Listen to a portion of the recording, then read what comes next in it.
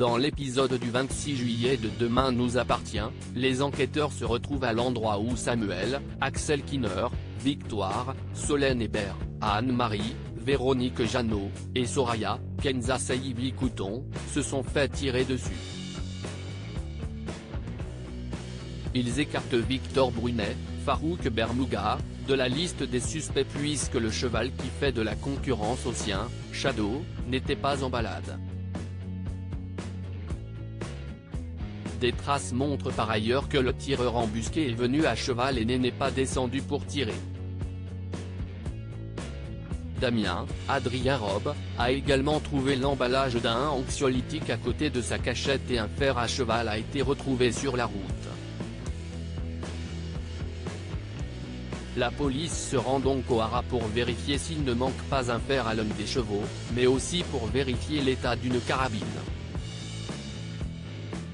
En effet d'après l'analyse balistique effectuée, l'arme utilisée est une carabine de chasse à gros calibre et, selon les permis de la région, une seule personne possède ce type d'arme, Solange, l'ancienne propriétaire du haras.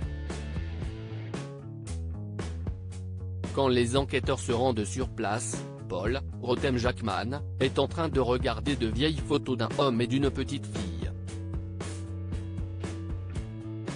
La police lui demande à voir la carabine de Solange, mais elle n'est plus à sa place.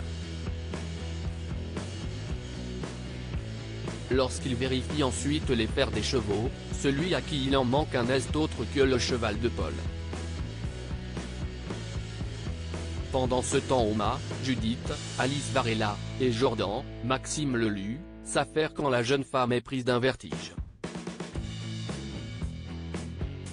Inquiet, Jordan lui dit d'aller se reposer et un moment de flottement a lieu quand il justifie son inquiétude en disant qu'elle compte pour lui. Têtue, Judith refuse de rentrer chez elle mais va voir Marianne, Luce Mouchel, pour un petit check-up. Tout va bien dans ses analyses, et la seule chose que sa grand-mère peut lui prescrire est du repos. Seulement comme Chloé, Ingrid Chauvin, lui affirme un peu plus tard, il sera difficile de la convaincre. Anne-Marie est-elle gravement malade? Mais Marianne a plus d'un tour dans son sac, et elle décide donc, avec la complicité de sa fille, de kidnapper Judith pour l'emmener au spa, où elle n'aura d'autre choix que de se reposer. Enfin du côté de Bénédicte, Honorine Magnier, et Étienne, Patrick Guérino, les retombées de la liaison entre Bénédicte et Robin, Dominique Guillot, se font toujours ressentir et Dorian suspecte quelque chose. Malgré les supplications de Bénédicte, Étienne refuse de revenir et il soutient même que Dorian, Ryan Ubé, devrait savoir pourquoi sa famille est en train d'imploser.